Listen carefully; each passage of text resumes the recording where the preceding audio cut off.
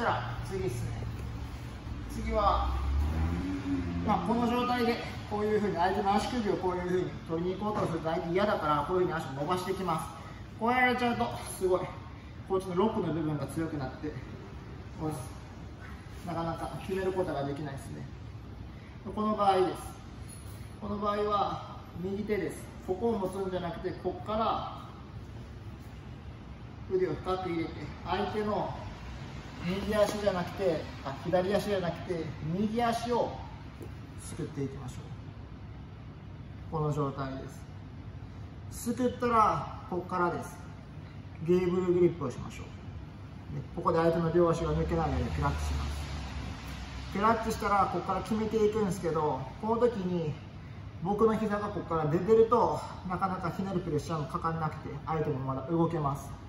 ここまで作ったら1回50の足外していい左足をマットついて右の膝はマットつけましょう。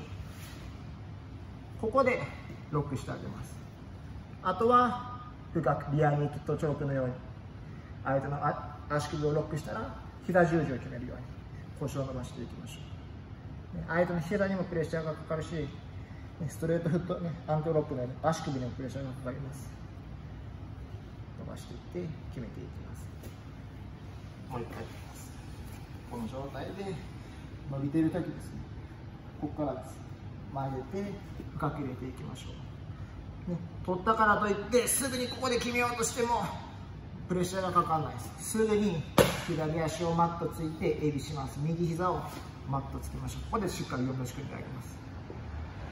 ああクラッチをつけてしっかり決めて